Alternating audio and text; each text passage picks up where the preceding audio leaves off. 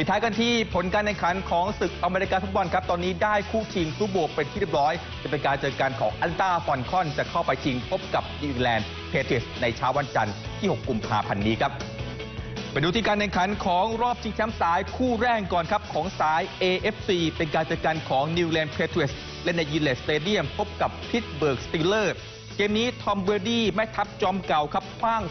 384หลาเป็นสถิติสูงสุดของเฟรนชายในรอบเพลย์ออฟ ให้กับคริสโฮแกนและจูเลียนเอเดลแมนทำ3 touchdown ให้กับทีมถล่มสตีลเลอร์สขาดลอยครับ 36 ต่อ 17 เป็นการเข้าสู่รอบชิงชนะเลิศเป็นครั้งที่ 9 และเป็นทีมที่ได้เข้าสู่ซูเปอร์โบวล์มากครั้งที่สุดครับ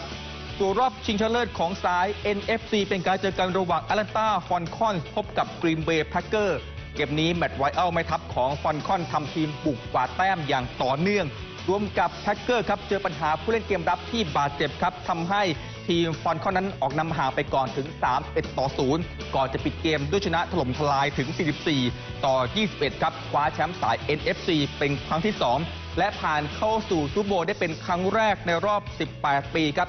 การแข่งขันรอบชิงชนะเลิศของศึกซูเปอร์โบวล์ครั้งที่ 51 ครับ จะมีขึ้นที่สนาม NRG Stadium ในเมืองฮุสตันรัฐเท็กซัสเช้าวันจันทร์ที่ 6 กุมภาพันธ์นี้ตามเวลาประเทศไทยครับ